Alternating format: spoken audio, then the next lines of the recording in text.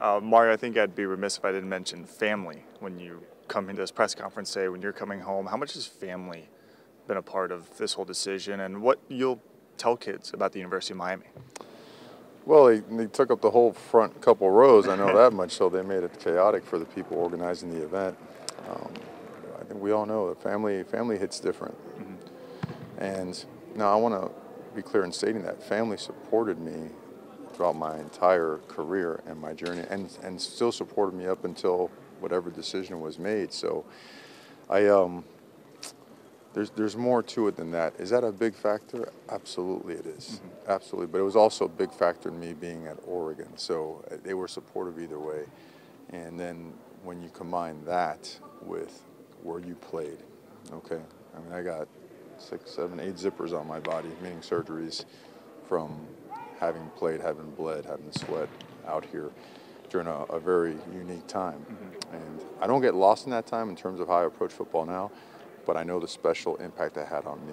And so I'm like, that's like my life's calling. I'm driven to try and provide, you know, young men and their families with that experience and the game-changing effect and impact that has on them in terms of pursuing excellence and whatever they choose to pursue. So big factors, man, strong. I mean, this, this is a, a really strong and powerful moment for me personally, and I want to make sure that uh, I show it in the way that I work and the way that I challenge our organization, everybody in the organization, to bring their best as well. It's been a while since you've been here. You look around, quite a few changes, including indoor practice facility. What's your impression of all this and now the potential considering the resources given to the program?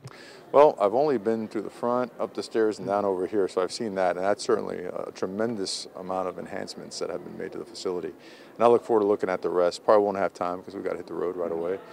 Um, and it's a busy week. You've got to, you know, address staffing. You've got to do everything you can to meet with certain players, you know, before um, they get caught up in finals and then practices and head out to the bowl game and whatnot, uh, and finish out the recruiting class as well. So I, I, haven't had time to really do anything except pop out of the car, grab a cafecito, and, and head on over here. And then that's okay. There's work to be done. I'm, I'm ready for it. But I mean, it's it's beautiful and it's you know, we're, we're going to continue to invest and elevate every standard in the place. Success doesn't happen overnight.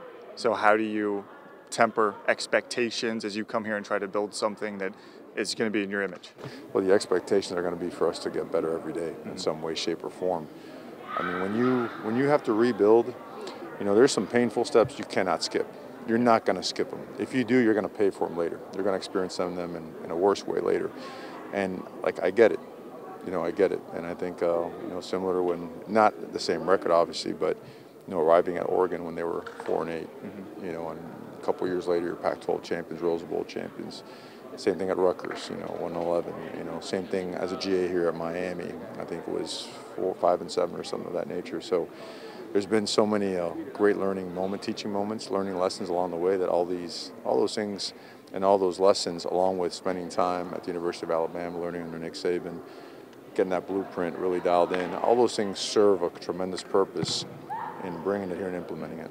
Last question. What are you expecting of this team from the Sun Bowl? What are you looking for um, as you get to see them up close and personal for the first time, really? I'm going to expect what I'm going to expect of myself and everybody else on a daily basis. Nothing but our very best.